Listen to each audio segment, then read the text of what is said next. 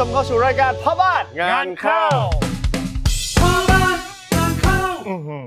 หันซะคอกับหัก วันนี้แขกรับเชิญ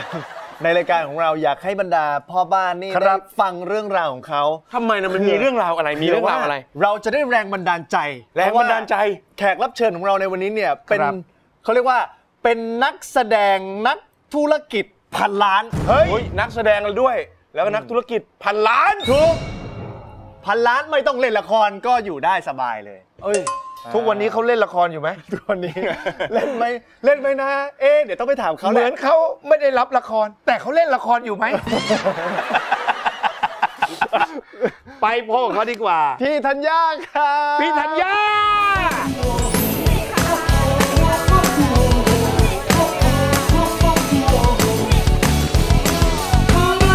อนนี้ไม่ใช่คนธรรมดาไปแล้ว เป็นเจ้าแม่ไปแล้ว เจ้าแม่เลยเหรอคะ เราเรียกเจ้าแม่หรือเรียกเท่าแก่หรือเรียกอะไรหรือเรียกเจ้าแม่ เท่าแก่เท่าแก่ได้ด้วยเจ้าแม่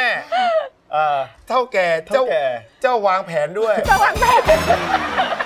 ไม่เออ ก็นั่นแหละนิดนึง เออตามที่เข้าใจนี่เนี่ย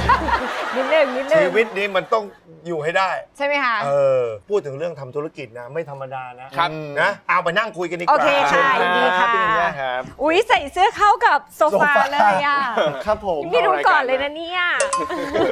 ได้อยู่ได้อยู่ ค่ะ คือก่อนหน้านี้เราก็จะได้เห็น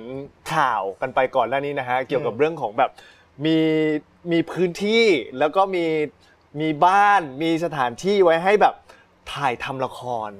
เป็นเป็นเขาเรียกอะไรนะเป็นโรงสตูดิโอเป็นเป็นสตูดิโอเป็นโรง ใช่ จริงๆ แล้วมันเริ่มต้นจากที่ตัวตัวที่เองเนี่ยอยากที่จะทำบ้านหลังหลังเดียวอ่าก็คือเอาเงินตัวเองอะไปหาซื้อที่แล้วก็สร้างบ้านขึ้นมา อืมอันนั้นอะชื่อว่าบ้านเชอร์มิน อ่าฮะ ก็คือเราเราทำขึ้นมาของเราเอง เพื่ออยู่อาศัยอะฮะพี่ เพื่อ ถ่ายละครเนี่ยแหละเพื่อค่ะถ่ายละครด้วยความที่ไม่ตอนเรานั้นเป็นอะผู้จัดอยู่ด้วยไหมเหรอยังยังไม่ได้จัดเลยตอนนั้ยังนยังไม่ยังจัดไม่เคยจัดละครเลยค่ะพี่จริงเหรอใช่ยังไม่เคยอ่าทำแต่รายการ แต่ว่าอ๋อยังไม่เคยทำละครครับเป็นของตัวเอง ซึ่งเราก็รู้สึกว่าเวลาเราไปถ่ายละครน่ะแล้วเวลาเราไปถ่ายบ้านนู้นบ้านนี้เขาให้แบบไปอยู่ในห้องเล็กอ่าๆๆห้ามเปิดแอร์ห้ามนู่นห้ามนี่อะไรเงี้ยโอ้โหโมโหโมโหจริงไม่ใช่อะไรไม่ใช่แล้วนั่งคุยกับพวกนักแสดงกันหืมจุดเป็นกูนะมึงไม่ใช่อย่างเงี้ยโมโห รู้สึกเลย แต่สิ่งสิ่งที่พี่ธัญญาคิดกับสิ่งที่ผมไปเจอ ผมก็คิดเหมือนพี่เขาเหมือนกันเออบ้านหลังใหญ่มากเลยทำไมให้เรามาอยู่ห้องแล้วแล้วแล้วค่น้องแล้วแล้วน้องน้องคนที่เป็น location เออห้ามเปิดแอร์นะ ถ้าเปิดแอร์โดนชาร์จใช่ใช่มันจะอากงนอนอยู่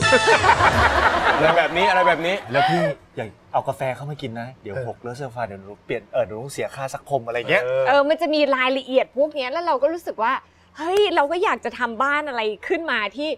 ที่เกี่ยวกับการถ่ายละครอืมแล้วก็ให้อยู่สบาย ให้ทีมงานอืมอยู่สบาย ให้นักแสดงอยู่สบาย ก็เลยทำมาหลังหนึ่งค่ะ พอทำเสร็จปุ๊บเราก็เกิดไอเดียว่า เฮ้ย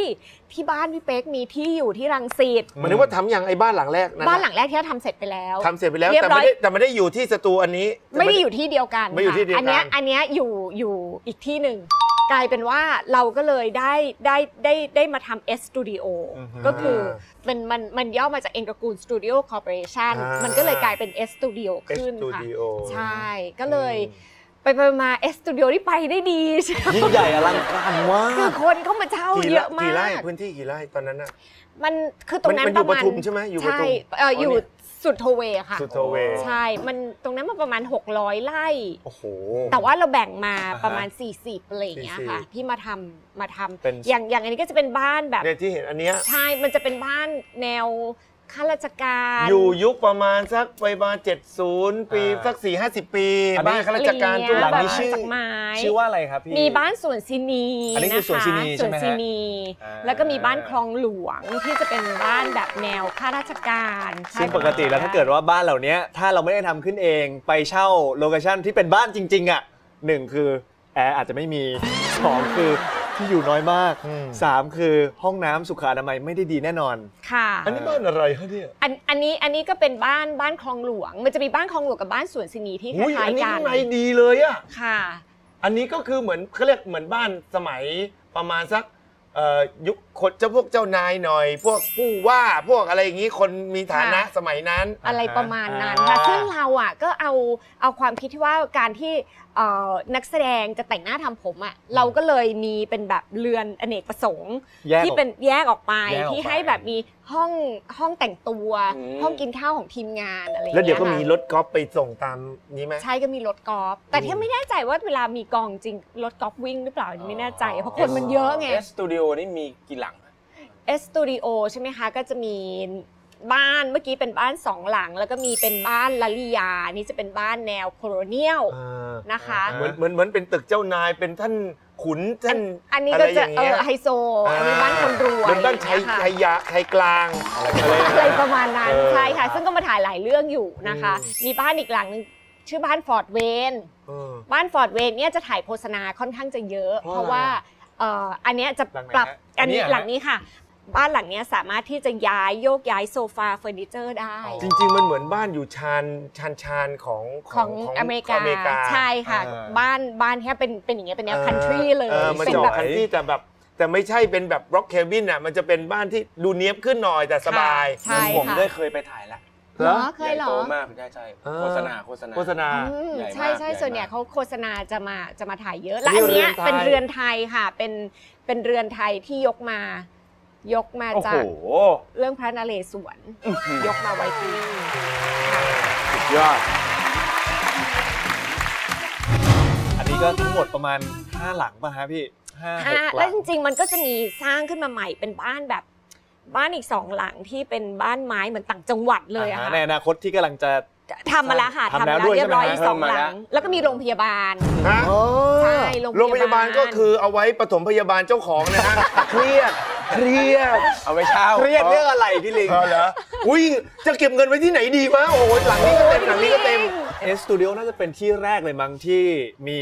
โรงพยาบาลเป็นของตัวเองโรงใช่ไหมพยาฮะบาลใช่จริงๆอะคือที่เอสตูดิโอที่ตรงนั้นมันจะมีเป็นคลังสินค้าครับแล้วก็จะมีเป็นเอ่อมันมันมีตึกว่างๆอยู่อะค่ะอืมก็เลยปรับเป็นแบบเป็นโรงพยาบาลเก่าชั้นหนึงเป็เป็นนเหมือนว่าโรงพยาบาลเก่าอย่างก็เงี้ยไม่เก่าค่ะเป็นโรงพยาบาลเลยมีห้องผ่าตัดมีฮะ คือเป็นมีห้อง สำหรับละครที่จะถ่ายละคร ใช่ มีห้องผ่าตัดฉุกเฉินมีอะไรอย่างงี้ด้วใช่ยนะ ค่ะชั้นหนึงเป็นโรงพยาบาลชั้นหนึงเป็นออฟฟิศโอ้โห เพราะว่ามันถ่ายยากไงเวลาไปขอวันธรรมดาอะไรอย่างแต่เงี้ยพี่ลิงก็ไม่ธรรมดานะฮะ ช่วงหน้าฝนเปิดสตูถ่ายฉากน้ำท่วมด้วยนะครับ ที่ไหนฮะโอ้ยโทษที อ่าอันนั้นไม่ได้อันนั้นไม่ได้เปิดอันนั้นน้ำมาเองนั้นทุ่มจริงเออแล้วพี่เป็นยังไงบ้างอะแกไม่ต้องตกใจเราเป็นไงบ้าง เรากลับฟื้นขึ้นมาแล้วไปแล้วไปแล้วเสียเงินไปเท่าไหร่คะอันจะเกิดอะไรบาทอยู่แล้วประกันจ่ายแล้วประกันจ่ายไหมประกันประกันนิดหน่อยนิดหน่อยเออประกันดื้อดึงนิดหน่อยเออพี่สู้ๆนะเออเห็นว่านอกจากสตูดิโอปล่อยเช่าแล้วครับอยากจะทำทำอะไรที่แปลกกว่านั้นอีกที่แปลกกว่านั้นล่ะคะปล่อยก็ปลวกลงไปในบ้านแต่ละหลังแล้วให้ปลวกค่อยๆกินทำเพื่ออั นอันนี้อนาคตจะเป็นเหมือน Animal Land Animal Land สวนสัตว์เหรอ Land ไม่ไม่ใช่สวนสัตว์หรอกค่ะ ด้วยความที่ลียาเนี่ยเป็นคนที่รักสัตว์มาก ครับคือไปไหนก็อยากจะเก็บหมาเก็บแมวมาเลี้ยงทุกอ่าๆๆที่ ครับ แล้วด้วยความที่เขารักสัตว์แล้วก็ลูกน้องสาว ลูกน้องสาวพี่เป็กลูกพี่ลูกน้องลียาค่ะเขาก็รักสัตว์เหมือนกัน อืม ก็เลยเป็นโครงการที่คุณปู่ก็เลยเว้นที่ว่างไว้เพื่อที่จะให้หลานๆน่ะเอาสัตว์มาเลี้ยงไม่เกี่ยวคือกับหมาแมวใช่ไหมไม่ใช่ใช่ไหม ก็หมาแมหมาวพวกจรจัดที่เขาอยากอืม อยากเก็บมาเลี้ยงไม่อะไม่ค่ะไม่ใช่เลี้ยงยีราฟแรดอะไรพวกนั้นไม่เกี่ยวใช่ไหมไม่ขนาดนั้นไก็คือหมาแมไวที่เราไปเจอ แต่เราไม่รู้นะ อนาคตอะพอเขาโตขึ้นมาอ่าแล้วเขาเขาอามีจจะความสามารถของเขาเองอะเออ เขาก็อาจจะเป็นสวนสัตว์ของเขาก็ได้ มีกี่ตัวแล้วฮะพี่ตอนนี้ ใกล้ยี่สิบแล้วโอ้โหอืมแมว แมวตอนนี้มีสองหนูสองกระต่าหยนูหนึ่งหนูก็เก็บมาจากท่อระบายน้ำเพราะว่าเขาสงสารลียาเห็น แม่หนูมันหนาวหนูที่เนี่ยบอกมันตัวเปียกแล้วมันก็ขึ้นมาอย่างเงี้ยมันอยากมาเชื่องเนอะก็บเออเก็บมาเลี้ยง นั่นแหละหนูที่บอกให้นั่นแหละหนูบ้านเออ น่ารักมากแล้วมีอะไรอีกมีอะไรแปลกๆกว่านี้อีกไหมฮะที่จินอะจินจินหนิงอะอ่าฮะ เอาเม่นมาให้ อ๋อเอามา แล้วตอนนี้เม่นปักตามจุดต่างๆของลียาอยู่ ลิงมีไหมฮะลิงลิงมียังฮะ ขออยู่ชาชาเลี้ยงลิงไง ไม่ต้องขอฮะนี่ลิง เอาตัวนี้ไปอันนี้ได้แล้ว เฮ้ยมันมีลิงตัวเล็กอะ ลิงที่ พี่แท้เคยไปเล่นของลิงเพื่อนแล้วโดนกัด อืม ด้วยความที่ เราไปเล่นเราก็เราก็เข้าไปหามันอะแล้วมันก็คงตกใจมันก็มากัดหูอะปีนมากัดกัดกัดกัดกัดอ๋อแล้วก็อึใส่หัวด้วย ก็เลยบอกลูกว่าเลียพอลิงก่อนลิงลิงลิงเบาไม่ได้ลิงไม่ได้ แต่ว่าชาชาเขาเลี้ยงลิงตอนเนี้ยอ่าสฮะองตัวมีโอกาสแล้วเขาก็จะชอบมากชอบครับผมไปเจอพี่ชาชาเพื่อนเล่นกับลิงพี่ชาชาอ๋อออย่างเงี้ยค่ะจริง ๆ โตขึ้นใหญ่เขาเป็นอะไรไหมตอนเนี้ยเขาไปเรียนเป็นครูฝึกสุนัขนะ ไปเรียนเป็นครูฝึกสุนัข เขาสามารถฝึกสุนัขได้แล้วค่ะ ตอนที่เหรอตอนนี้เลยเดี๋ยวนะที่ฮะ เห็นลงในคลิปในคลิปอันนั้นคือไปเรียนเหรอไปเรียนค่ะ เป็นเรื่องเป็นราวจะมีอีกคนไหมเห็นเห็นบอกว่าตอนแรกเจ้าจะมีคนไม่เอา พยายามมานานแล้วค่ะ แต่ว่ามีไม่ได้สักที ก็คือทั้งอุ้มบุญทั้งตัวเราเองด้วยอะไรด้วยก็ นี่มันก็ปาเข้าไปอีกไม่กี่ปีก็ห้าสิบแล้วนะเขาเก็บตรงนี้ก่อนแล้วกันอย่างนี้ใช่ไหมไข่มันแก่แล้วพี่ เออไข่มันไม่ไม่เหมาะจะผลิตลูกแล้วมั้ง คนหนึ่งก็ดีแล้วนะ แต่เขาอยากมีน้องมากเอาเลยอืมเขาอยากมียิ่งแบบน้องสาวที่เพิ่งคลอดลูกด้วยครับเขาก็เหมือนแบบ อยากได้น้องอะอืมแล้วแล้วเขาไม่ได้รู้สึกว่านั้นรู้ว่าน้องคือไม่รู้ใช่ว่าน้องท้ๆแต่อยากเขได้น้องที่มานอนด้วยกันทุกวันอ๋อเราก็เอาน้องคนนั้นน่ะมาอยู่อยากได้อยู่ค่ะเอามาเลี้ยงอยากเลยจะขโมยเหมือนเอกัอบอกเลยมาเลี้ยงเลย แม่เขาก็ห่วงลูกเขาไหมอันนี้พี่พอมีสองคนอันนี้ก็จบเลยนี่อยากได้ผู้ชาย ฮะ คนหนึ่งไม่เอาแล้ว ไม่เอาแล้วไม่เอาแล้วเหรอลูกหรือเมียให้มันคมโจกให้มันคม ครับเมีย โอ้จะเล่นแบบเศร้าๆบ้าบอพอตอบมาแล้วก็ไปนั่งเครียดแบบเออการโทรเคลียร์ทุกวัน วางแปลนอนาคตไหมว่าลูกเราต้องเป็นอะไรทำอาชีพอะไรหรือว่าอะไรยังไง ไม่ไม่ไม่ได้แพลนเลยค่ะ อืม จริง ๆ แล้วว่าตอนเนี้ยคิดว่าคงจะพอรู้แหละเขาก็อินไปทางสัตว์อะคงจะเป็นนักอะไรสักอย่าง คือเขาก็อยากเรียนสัตวแพทย์ แต่ว่าด้วยความที่ไม่ชอบไปโรงเรียนอ่าฮะไม่ชอบเรียนหนังสือ ก็จะบอกลียาอยากเป็นสัตวแพทย์หนูต้องเรียนเก่งๆนะอะไรเลย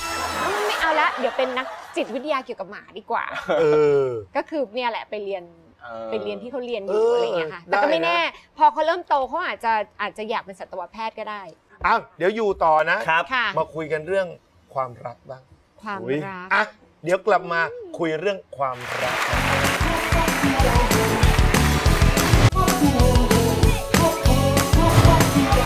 สวัสดีครับเจ๊สวัสดีเจ๊เมื่อกี้เจ๊แอบมองอยู่นาน นินทาสามีกันหรือเปล่าเปล่าเลยครับ อ๋อเหรอ ไม่มีคุยแต่เรื่องเขาผลกำไรดีงาม สงสารสามีอะ ถูกครับภรรยานินทาตลอดเวลา อันนี้เออฉีดไปปุ๊บสาสาหันมาเลยไหม สาได้กลิ่นเลยไหม คือตัวตัวพี่เป๊กอะเขาเป็นคนชอบฉีดน้ำหอมอยู่แล้ว แล้วชอบอืม เป็นคนชอบฉีดน้ำหอมกลิ่นผู้หญิง อืม เขาเหรอ ใช่ แล้ววันหนึ่งที่เนี้ยฉีดมาดามฟินเข้าไปวันแรกเนี่ยค่ะ เขาก็จะแบบกลิ่นอะไร อืม น้ำหอมกลิ่นอะไรหอมเดินถอดเสื้อลงมาเลยะไรเดินถอดเสื้อลงมาเลยไม่ขนาดนั้นแต่น้ำหอมมาดามฟินต้องบอกว่ามันเป็นน้ำหอมที่ทำให้เรามีเอกลักษณ์เฉพาะตัวจริงๆคือค่ะเหมือนแบบถ้าแท้ฉีดก็จะกลิ่นหนึ่งพี่ครับลิงฉีดก็กลิ่นหนึ่งพี่หนูแหม่มฉีดกลิ่นหนึ่งใช่ไหมคะแล้วก็มันสนุกตรงที่มันผสสามารถผสมกลิ่นกันได้ อย่างวันเนี้ยเกิดอยากจะเป็นผู้หญิงเซ็กซี่ก็จะต้องฉีดฟินิน black อ่าก็จะฉีดไปเลยปึ๊บตรงปึ๊บชีพจรของเรานะคะอืมฉีดไปอะ ฟินิน black แล้วเป็นสาวเซ็กซี่ แต่อยากจะเป็นสาวเท่ขึ้นมาอีก ครับ ฉีดไปเลยค่ะ สีฟ้า อันเนี้ยเป็นรุ่น summer ที่จะไม่ได้ทำออกมาเรื่อยๆ หมดแล้วหมดเลยนะคะ ซึ่งวันนี้เนี่ยมีมาด้วยรุ่นเนี้ยหอมมากเลยค่ะ พี่ลิงลองไหมชอบอันเนี้มาย กพี่ชอบ อืมมันเป็นอืม ยูนิเซ็กซ์สามารถที่จะฉีดได้ทั้งผู้ชายและผู้หนี้ อะไรนะเอันเนี้ย finish finish ใช่ไหม เป็น finish สีฟ้า ฉีดแล้วจะเป็นผู้หญิงเท่ อือฮึ แล้วอีกกลิ่นหนึ่งนะคะ เป็นกลิ่นที่พี่หนูแหม่มชอบมากเย่คือสีส้ม อุ้ยอันนี้เราก็ชอบ ใช่ไหมใช่ ฉีดแล้วเหมือนแบบ ความรู้สึกเฟรช มันแซบแซบมันซ่าซ่ามันเผ็ดเผ็ดนิดนึงค่ะ แล้วมันดูสดชื่นอ่าผสมีพริกชี้ฟ้าอยู่ในนี้เหรอฮะ ไม่รู้แบบชอบน้ำหอมที่มันดูสไปซี่หน่อย อ่าฮะใช่เหรอมันจะใช่ คุณต้องแยกไหนกๆลลิ่องนดิออก พี่ อ่าลองดูนะคะมันต้องเหมือนจะผสมไปหมดเลย อ่า เสน่ห์มันอยู่ตรงนี้คือครับ สามารถ mix and match ผสมกันไปผสมกัเออมันจะดู แล้วไม่งง ใช่ กลิ่นไม่งงคุณมันจะแบบยิ่งหอมก็ไปได้กลิ่นใหม่นเพราะว่าออสุดท้ายมันผสมกับเหงื่ตัวอตัวเราของยิ่งเหงื่อออกมาดามฟินเป็นน้ำหอมที่จะทำให้เรายิ่งหอมขึ้นอืมไม่ใช่ฉีดไปผสมกับเหงื่อแล้วเหม็นเปรี้ยวเหม็นอะไรเงี้ยมันจะยิ่งหอมใช่ ยิ่งหอมทำให้ตัวเรามีเอกลักษณ์เฉพาะตัวยิ่งขึ้น ถ้าอยากให้น้ำหอมติดทนนานยิ่งขึ้นนั่นอ่าโลชั่นดอกไม้เลยค่ะโอ้ยโลชั่นดอกซึไม้ยู่ตทาผิวไปเลยบำรุงผิวนะคะ มีกันแดดทาด้วย เสร็จแล้วน้ำหอมตามนะพี่นี่พุทธนะ ใช่ มันจะแบบ กลิ่นมันจะแบบทาไปเลย ติดตัวเราตลอดทั้งวัน พี่พุทธจัดเสมอไหมจัดเสมอจัดเสมอฮะ สม่ำเสมอนะ เอ๊ะนี่จุ๋ยนั่งอยู่ตรงนี้หรือเปล่าฮะตอนที่ไปอยู่ในทุ่งนาที่สะเมิงอะ พกไปด้วยแล้วจัดไหม สองดอก ดอกไม้ให้ภรรยา อ๋อ ดอกสั้นเหรอ จริงๆจริงๆเอ่อหลายคนเป็นพรีเซนเตอร์นะ รวมทั้งใช่ธัญญาค่ะด้วยใช่พี่ธัญญาก็เป็นนี่ แค่เป็นใช่ พรีเซนเตอร์ รุ่นแรก ก็คือตัวที่ห้าเป็นเหมือนแบบคนคนแรกที่รับพรีเซนเตอร์มาดามฟินอ่าแล้วต่อมาก็จะเป็นมีพุทธจุ๋ยโดพี่เมโดมทันมีพลอย แล้วก็มาเป็นพี่มาชา พี่ตินทาคือมากันเยอะมากพี่ใหม่เจริญปุระอย่างเงี้ยค่ะ ต่อไปอะนะสมมติว่าเดินไปตัดแบบว่าโรงงานขนาดใหญ่ของเขานะ ต่อไปเดินไปตัดริบบิ้นอะนะ อันนี้รุ่นแรกอะไม่เลยโอ้โอ้ยังแซบอยู่โอ้โอ้ อันนั้นอีกสัก 30ปีอีกสัก30ปีใช่ นะแต่ต้องบอกว่าพรีเซนเตอร์เยอะขนาดเนี้ยเพราะว่าทุกคนเนี่ยที่ใช้เชื่อว่าจริงพอใช้จริงพอมันใช้จริงใช้แล้วมันมันอินอะ มันสนุกกับน้ำหอมที่เราฉีดแล้วมันทำให้เรามีเอกลักษณ์ใช่เฉพาะตัวใช่หัวน้ำหอมก็มาจากฝรั่งเศสนะคะ แล้วก็ได้รับการรับรองจากสมาคม IFRA จากประเทศสวิตเซอร์แลนด์ว่าเป็นน้ำหอมที่มีเอกลักษณ์เฉพาะตัวจริงคือธัญญาไปมาทั่วเขาเรียกไปมาทั่วโลกแล้วว่าง่ายๆเดินทางเยอะนะค่ะเจอเห็นน้ำหอม ดมน้ำหอมนู่นนี่ต่างประเทศต่างประเทศทำไมมาจบที่น้ำหอมคนไทย คือจริงๆแค่เป็นคนชอบสะสมน้ำหอม เวลาไปไหนก็จะชอบซื้อน้ำหอมมาเก็บไว้ แต่วันหนึ่งเราก็รู้สึกว่า เฮ้ยน้ำหอมที่เราซื้อมาเนี่ยใช้ก็ไม่หมด อ่า บางขวดก็แพง เก็บไว้ในตู้เย็น แล้วก็มันก็สิ้นเปลือง อืม แต่วันหนึ่งพอมันรู้จักกับน้ำหอมของคนไทยก็คือมาดามฟินอะอือฮึ จ่ายแค่ไม่ถึง 2,000 แต่ว่าเราได้เล่นกลิ่นอะไรไม่รู้เยอะแยะไปหมดเลย แล้วก็มันติดทนนานแล้วก็ทำให้เรามีเอกลักษณ์เฉพาะตัว อืม ก็เลยรู้สึกว่าจะไปซื้อน้ำหอมแพงๆทำไมอืมเอาน้ำหอมของคนไทยเนี่ยแหละอืมนั่นแหละคือค่ะพอเราพูดถึงหรือว่าเราฉีดหรือเราใช้อะ สุดท้ายมันกล้าพูดเนาะ ใช่คือบางที่เราไปใช้แล้วอื้อหือ กล้าพูดว่าโอเคอะอืมแต่นี้มันยังขนาดผมไม่ได้เป็นพรีเซนเตอร์เลยครับ ก็ยังบอกเออก็ดีนะฉีดก็ยังโอเคเลยอะใช่ มันยังกล้าพูดให้อะจะหน่อยไหมฮะเดี๋ยวไปความจริงวิ่งครับ คุณน่าคุณน่าจะโทรบอกเมียคุณว่าน่าจะจัดสักสักสักแบบสักชุดสองชุดงี้เมียสั่งไปแล้ว สั่งยัง ใช่ป่ะเมียสั่งไปแล้วแต่แต่สำหรับโปรนี้เมียยังไม่สั่ง นั่นน่ะสิ จัดมาจัดวันนี้มา วันนี้โปรโมชั่นสุดพิเศษเลยนะคะ วันนี้นะคะ น้ำหอม 2 ขวดนะคะกลิ่นนี่เลยฟินินแบล็กแล้วก็สีฟ้านี่นะคะจ่ายเพียง 1,990 บาท ได้รับน้ำหอมไปอีกหนึ่งนะคะ เป็นน้ำหอมสีส้มอีกหนึ่งขวดได้สามขวดเลยนะ เท่านี้ไม่พอค่ะ ยังได้โลชั่นดอกไม้อีกหนึ่งหลอดใหญ่นะคะสุดยอด ยังมีสบู่นะคะ สมุนไพรอีก 3 ก้อนที่ใส่วิตามินเข้าไปกลิ่นหอมธรรมชาติแล้วอะไรรู้ไหมน้องทรายบอกว่าน้องทรายเป็นหนูทดลองเอง มีรอยแตกตรงสะโพกเอาสบู่เนี้ยไปถู ถูถูถูรอยหายจริงอันเนี้ยต้องไปลอง ถ้าเกิดใครมีรอยแตกที่ก้นพี่มีไหมพี่เอาที่มีมากกว่ารอยแตกอีก เอาไปลองใช้ดูพี่นะลิคะนน่าเหมาะมาก เอออ่าเลิศเลยค่ะ อย่างนี้ซื้อ เลย 2 แถม 5 เป็น 7 ชิ้น เย้ จ่ายเต็มเนี่ย5,830 บาท แต่วันนี้ไม่ต้องจ่าย จ่ายเพียง 1,990 บาทนะคะ สามารถ add LINE ที่แอดฟิน 96 หรือโทรไปที่หมายเลข 02 030 0033 ได้รับไปทั้งหมดนี่เลย 7 ชิ้นด้วยกันนะคะ 5,830 ไม่ต้องจ่าย จ่าย 1,990 บาทเท่านั้น ค่ะ รับไปเลยทั้งหมดเลยค่ะอืมนี่แหละ นี่เลเลิศที่สุด นี่เลยใช่ค่ะ ย้ำกันอีกทีไหมคะ เอาวัมาเลยนี้ค่ะนะคะ 2 ขวดฟินินแบล็กกับสีฟ้านี้นะคะ ปกติแล้วราคาอยู่ที่ 2,580 บาท ค่ะ จ่ายแค่ 1,990 ได้รับไปเลยนะคะ น้ำหอมอีกหนึ่งสีส้มนะคะโลชั่นดอกไม้อีกหนึ่ง แล้วก็สบู่สมุนไพรที่มีวิตามินนะคะ สามารถช่วยเรื่องแตกลายได้ อย่างที่ลิงบอกที่มีใช่ไหมคะถูไปเลยค่ะ